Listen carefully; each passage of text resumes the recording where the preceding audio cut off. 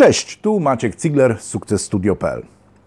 Tym razem postanowiłem zrobić taki lekko kontrowersyjny odcinek. Mianowicie, czego właściwie w biznesie można się nauczyć od dealerów narkotyków? Ja nie mówię, że ja popieram tą branżę czy coś.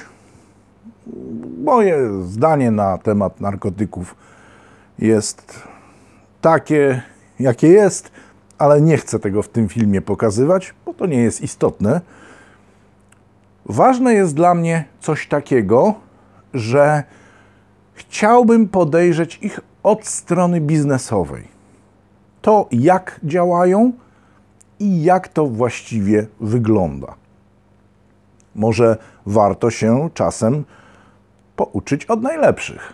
A przecież chyba nie zaprzeczysz, że mają świetne wyniki, mimo sporych problemów rynkowych z konkurencją, z prawem, z ściganiem ich przez wiele różnych grup i tak dalej, i tak dalej. Jak to jest, że im wychodzi? Przeanalizujmy to dzisiaj biznesowo. Zapraszam.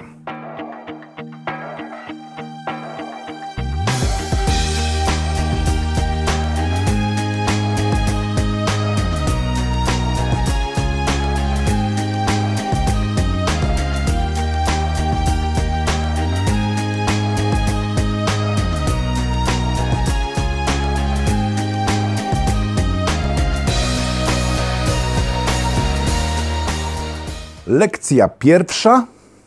Nie lekceważ swojego produktu.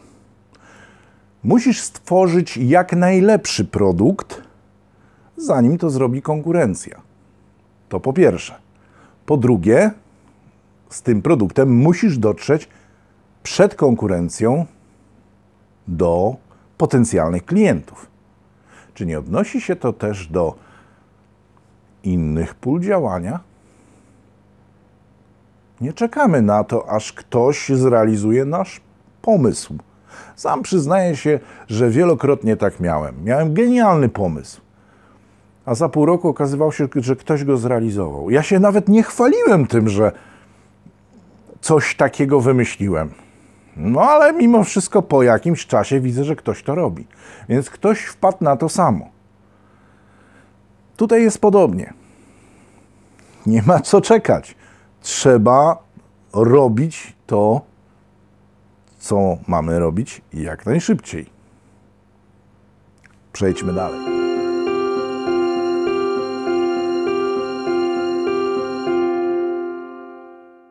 Świetną rzeczą, jaką wykorzystują dilerzy, mar- dilerzy narkotykowi, nie marketingowi, to marketing szeptany. Zauważ, że jeżeli robią dobry produkt, ludzie sami zaczną im robić marketing. To jest y, akurat świetne rozwiązanie.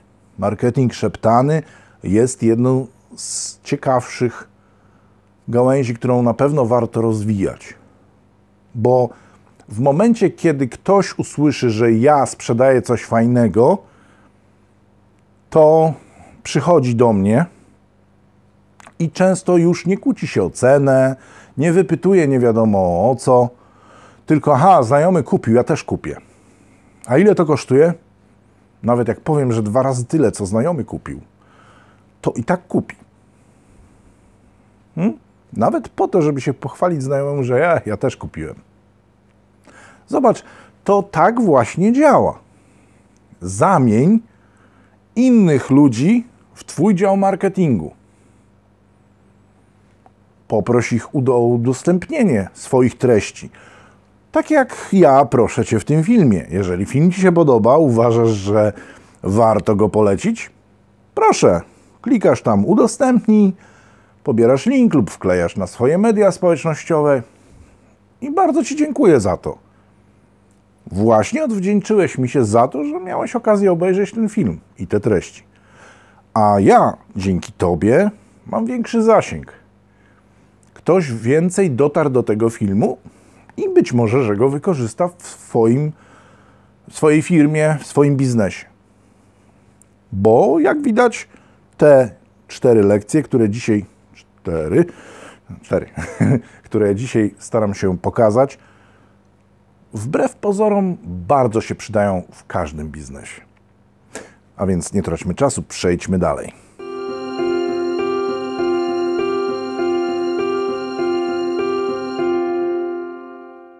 Kolejny punkt to dystrybucja. To też bardzo istotna rzecz. Jeżeli kontrolujesz ilość produktów na rynku, to możesz dyktować cenę.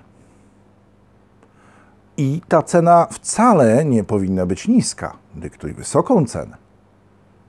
Zobacz, że tak naprawdę wyprodukowanie grama czegoś tam kosztuje najczęściej grosza. Najwięcej zarabiają różnego rodzaju pośrednicy. U producenta to naprawdę są grosze. Ale już w momencie, kiedy kupujesz od handlarza, ta cena jest razy 100, a może czasami nawet 1000.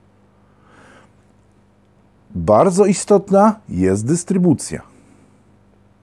Jeżeli jest produktu za dużo, cena zaczyna spadać. Tu trzeba ważyć tą popyt i podaż. Dasz za dużo, cena spadnie. Utrzymujesz odpowiednią ilość, cena się utrzymuje. Ba, możesz ją podnosić w górę. Przecież tak naprawdę zależy ci na tym, aby nie sprzedawać jak najwięcej, tylko za jak najwięcej. Bo przecież dla ciebie liczy się zysk, a nie ilość sprzedanych produktów.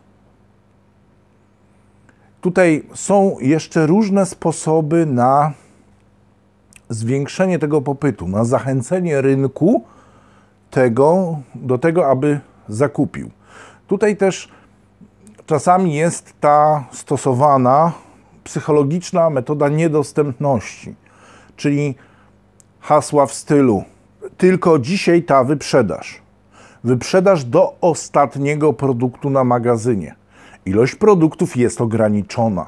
Oho, tutaj zaraz się łapiemy na to. A to ja szybko pojadę, ja szybko kupię, bo jak nie pojadę szybko, nie kupię szybko, to nie będę miał. Widzisz? Dałeś się, dałaś się nabrać na taką sztuczkę psychologiczną? A widzisz. Dilerzy narkotyków też to stosują. Fajne, co?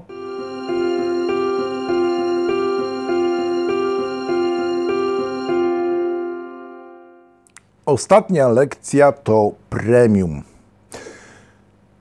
Oferuj pewne rzeczy za darmo, aby klient za właściwy produkt zapłacił więcej lub go kupił więcej.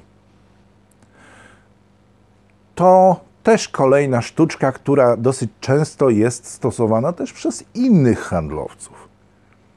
No to świetne są w tym markety, tam gdzie urocza hostessa daje ci coś do wypróbowania i w super cenie dnia kupujesz 20 czegoś, co tak naprawdę jak już to by ci się przydało jedno, maksymalnie dwa i na pewno nie w takiej cenie. Ale ta urocza hostessa jest taka ładna, to taka śliczna dziewczyna. Fakt jest faktem, że ostatnio to tak niekoniecznie wszędzie śliczne te dziewczyny były. O nie, ostatnio to w ogóle ich nie ma. W maskach chyba jakby kiepsko wyglądały. Hmm. Kurczę, zaczynam tęsknić za hostessami w sklepie. Do czego to doszło? Ok. Czyli powracając, coś dajesz gratis, a klient płaci więcej, kupuje więcej. Oczywiście nie przesadzamy z tymi gratisami. Jeżeli jest ich za dużo, zaczyna być to podejrzane.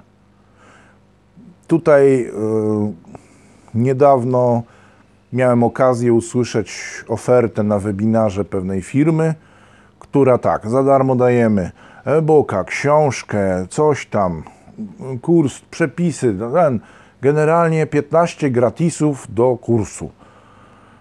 Kurczę, Co to jest? Aż 15 gratisów? No, ludzie, wyprzedaż dnia, co, co to w ogóle jest? No, nie przesadzamy z deczka? No, niektórzy się na to łapią. O, 15 gratisów, będzie fajnie. No nie. To co, może ten produkt jest za drogi? A może połowa tych rzeczy, tych gratisów tak naprawdę niewiele jest warta, co? Może warto się od tej strony zastanowić. Ja rozumiem do produktu 1, 2 gratisy, tak? No ale aż tyle? No i to nie, że tam 15 do wyboru. Nie, nie. Ja 15 dostanę. W tym ten warty 150, tamten 250 kurs za 1200 i wychodzi, że wartość gratisów jest wyższa niż tego kursu, tak? I komuś się to opłaca? No weź, zastanówmy się. Jak to się komuś opłaca sprzedawać coś takiego? Ok. Czyli wracamy do tego, że gratisy owszem, jak najbardziej, próbki, produkty to są świetne rzeczy. One zwiększają sprzedaż takie próbowanie rynku. Dzisiaj ci daję torebeczkę, już teraz powiem jak e, ten dealer narkotykowy, a jutro przyjdziesz po działeczkę.